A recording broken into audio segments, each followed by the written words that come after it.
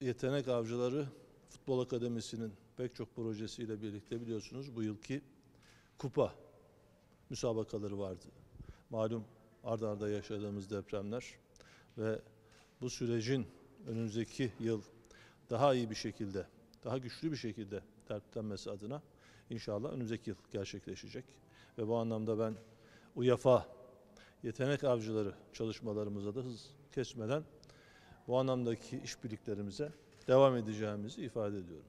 Türkiye'nin gençlerini her alandaki yetenekleriyle, kültürde, sanatta, bilimde, teknolojide nasıl çok ciddi bir şekilde takip ediyorsak, destekliyorsak sporda da onların bakanlığı olarak onların yanında olmaya, onların her birini bu ülkenin bugünleri, yarınları için en güzel şekilde desteklemeye devam edeceğiz.